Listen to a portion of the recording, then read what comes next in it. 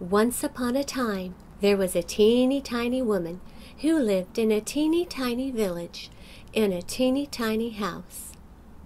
Now, one day, this teeny tiny woman got her teeny tiny bag and went out of her teeny tiny house to take a teeny tiny walk. Now, when this teeny tiny woman had gone a teeny tiny way, she came to a teeny tiny gate. So the teeny tiny woman opened the teeny tiny gate and went into a teeny tiny churchyard.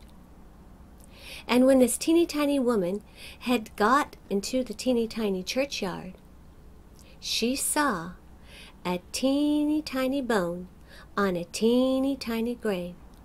And the teeny tiny woman said to her teeny tiny self, This teeny tiny bone will make me some teeny tiny soup for my teeny tiny supper. So the teeny tiny woman put the teeny tiny bone in her teeny tiny bag and went home to her teeny tiny house. Now, when the teeny tiny woman had got to her teeny tiny house, she was a teeny tiny bit tired.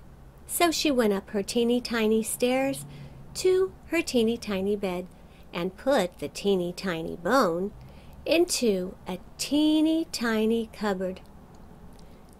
And when this teeny tiny woman had been to sleep a teeny tiny time, she was awakened by a teeny tiny voice from the teeny tiny cupboard.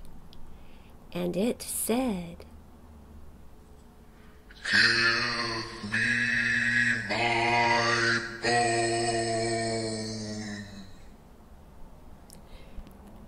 This made the teeny tiny woman a teeny tiny bit frightened. So she hid her teeny tiny head under the, her teeny tiny clothes and went to sleep again.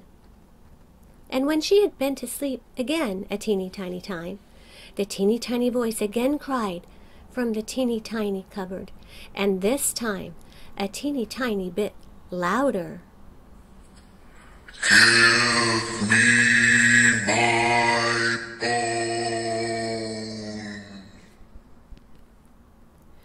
Again, the teeny tiny woman was a teeny tiny bit more frightened, so she hid her teeny tiny head a teeny tiny further under the teeny tiny clothes. And when the teeny tiny woman had been to sleep again a teeny tiny time, the teeny tiny voice came from the teeny tiny cupboard, and again it said in a teeny tiny bit louder voice, Give me my bone.